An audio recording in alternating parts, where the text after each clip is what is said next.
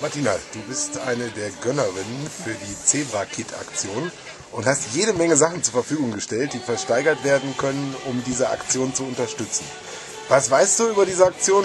Inwiefern stehst du damit in Verbindung und was hat dich dazu bewogen? Also dazu bewogen hat mich, dass ich davon gelesen und gehört habe und dann eine E-Mail bekommen habe, ob ich nicht auch Lust hätte, ähm, da mitzumachen. Und weil ich natürlich äh, ja von klein auf die Affinität zum MSV habe. Ich bin als kleines Mädchen ja zum Trainingsplatz gelaufen, habe die Bälle zurückgeschossen, ich bin ins Stadion gegangen. Und es ist nun mal so, dass ich Duisburgerin bin. Und ich finde es toll, dass es eine Organisation gibt, die sich auf die Fahne geschrieben hat, Kinder, die es sonst sich nicht leisten könnten, ins Stadion zu holen. Und wenn ich da in irgendeiner Form eine Unterstützung geben kann, mache ich das total gerne.